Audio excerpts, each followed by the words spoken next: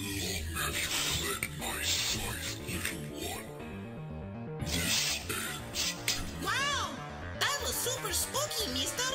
Yeah, your costume looks great. Come have some fun with us.